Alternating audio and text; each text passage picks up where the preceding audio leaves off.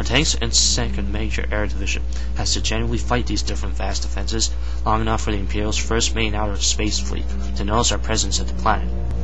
So when they're still airborne in outer space, near Geonosis, closing in on the atmosphere, our first X-Wings Starfighters will sprint from all orbital directions behind unexpected dangerous cover that would be considered difficult to navigate, and while insane, slowing meteor flotations. The X-Wing squadron will be of course led by Anne, a professional at outer space defense mechanisms.